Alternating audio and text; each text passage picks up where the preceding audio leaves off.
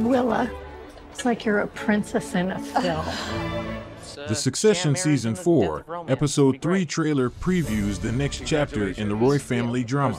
After kicking his kids to the curb, the Succession Season 4 premiere finds Logan preparing to sell Waystar Royco to Gojo, a streaming giant run by eccentric billionaire Lukas Matsson.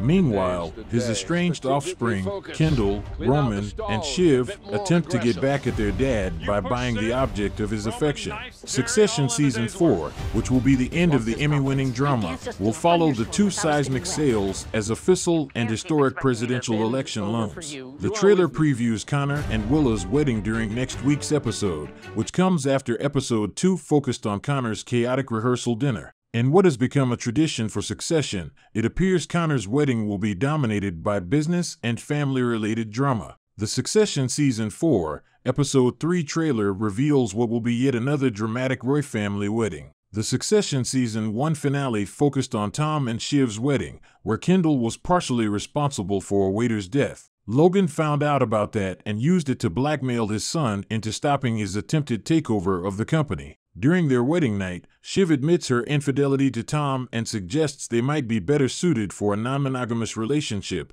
causing one of the first fractures in their ill fated union. Based on the Succession Season 4, Episode 3 trailer, it appears Connor's wedding will be equally dramatic as past affairs. There will be some conflict with the oft forgotten Roy sibling, Connor, who questions his bride to be if she is merely with him for the money, though the focus will surely be the Roy siblings' attempt to delay the company's sale and squeeze more money out of Matsson. Meanwhile, Roman is secretly angling with Logan, which will likely lead to the eventual dissolution of the siblings' alliance.